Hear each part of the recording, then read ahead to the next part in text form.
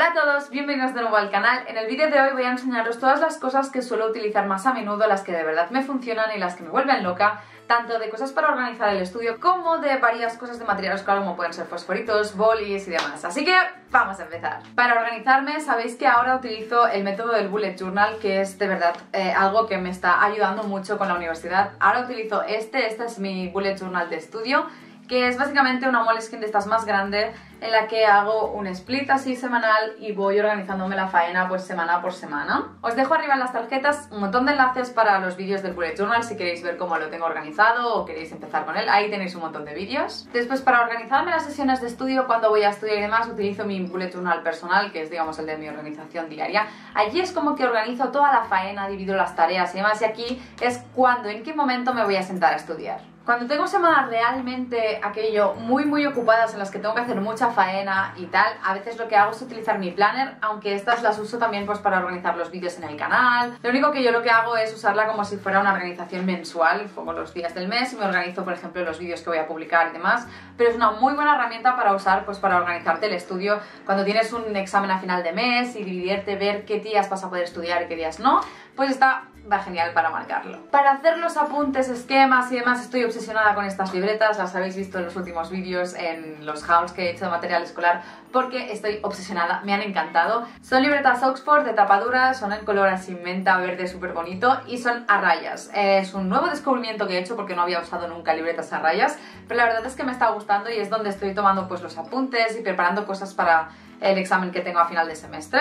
Entonces tengo por un lado esta, que es la bonita para hacer los apuntes y demás, y luego tengo esta, que es eh, mi libreta de batalla. También la habéis visto en algún vídeo, es una libreta de los chinos en la que, eh, bueno, básicamente es donde hago pues todas las notas, los esbozos, cosas de las prácticas, ideas, sin ningún tipo de orden, sin ningún tipo de filtro ni nada aquí, pues apunto con boli, sucio, lápiz, ideas, lo que sea. Es la de batalla, la que tengo siempre, siempre encima y apunto todas las cosas que tengo que hacer, lo que voy, cómo voy haciendo las prácticas y demás. Es una libreta de trote. Por último, mis Biblias. Son algo sagrado para mí, por eso creo que las acabé llamando Biblias, pero son super guías de estudio que me monto para preparar exámenes.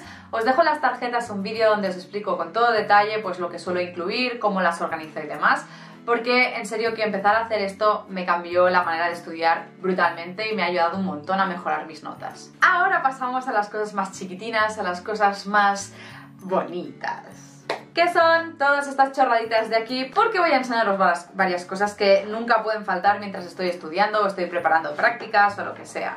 Por un lado, los posits, de todos los colores, de todos los tamaños. Eh, los utilizo tanto para apuntarme notas, veis que en el ordenador hay varios, en la pared también tengo, para acordarme de cosas. Cuando hay alguna cosa en unos apuntes que quiero resaltar, también suelo utilizar los posits porque es un toma color ahí en medio, entonces como vale, importante, acuérdate. Y luego también las utilizo pues para el bullet journal para marcar algunas cosas que debo hacer y demás. Algo que no puede faltar nunca. Otro de mis favoritos y que es bastante reciente son las flashcards, también tenéis un vídeo, os lo dejo en las tarjetas, que son básicamente fichas para estudiar y memorizar cosas a la hora de, aprenderte pues fechas o nombres concretos, fórmulas o cosas así. Allí en el vídeo os explico más sobre ellas, pero es algo que también estoy utilizando un montón y que seguro que de cara a finales de semestre las voy a volver a utilizar. En cuanto a subrayadores, eh, mi marca favorita sin duda alguna es Stabilo y tengo dos tipos de subrayador favoritos. Por un lado, los típicos Stabilo Boss gorditos de siempre. Aquí tengo algunos de los que son en tono pastel y algunos de los tonos así más potentes para que no se te olvide nada. Y luego tengo estos que son un pack que me compré hace bastante, em, que son rotuladores de punta un poco gruesa, que la verdad es que me encantan pues para escribir algunas cosas, son en tonos fosforitos y tengo un rosa salmón, naranja, verde, también tengo un amarillo por ahí me parece y el rosa fucsia. Entonces estos los utilizo cuando quiero subrayar solo con una línea inferior o apuntar alguna cosa o hacer alguna flechita que son más cómodos para dibujar y demás. Muy, muy, muy favoritos. Y por último ya os enseño eh, algunos bolis que son los que más me gusta utilizar para escribir. Por un lado, los Big son los que utilizo pues tanto para exámenes, para hacer los apuntes y demás. Lo único es que tengo dos favoritos, el Big clásico de toda la vida y los naranjas, que son los, que son los Crystal Fine y en serio escriben súper bien, súper finito y van Bueno, yo creo que me gustan más estos que estos, pero bueno, acabo utilizándolos los dos. Luego, para cuando tengo que escribir cosas en color en los apuntes y demás, soy muy fan de estos Pilots, que son los que se pueden borrar, que son los Friction. Estos en concreto son como que son de estos de click click y tengo varios colores, tengo el lila también, creo que tengo uno verde, eh, también tengo el negro para escribir, pero que es de tapón, digamos, más punta fina. Bueno, son bastante prácticos, odio tener que poner Tipex en los apuntes, así que a veces pues los utilizo. Aunque últimamente no los estoy utilizando tanto porque prefiero ir a, saco con los otros bolis. Pero bueno, estos los utilizo solo cuando tengo que escribir alguna palabra en un color diferente o marcar algunas cosas en los apuntes así rollo en color que esto pues te previene que si te equivocas puedes borrarlo y no te quedan los apuntes llenos de Tipex, cosa que no me gusta nada. No uso Tipex, no me gusta. Pues nada, esas eran todas las cosas que quería enseñaros, son algunas de las chorraditas que suelo utilizar siempre, que están por aquí esparcidas en mi escritorio porque no me pueden faltar ni para preparar prácticas, ni para organizarme el estudio, ni demás. Muchas de las cosas ya os las he enseñado, las habéis visto en otros vídeos, pero bueno, quería hacer este vídeo un poco pues, por si os daba alguna idea o os inspiraba un poco.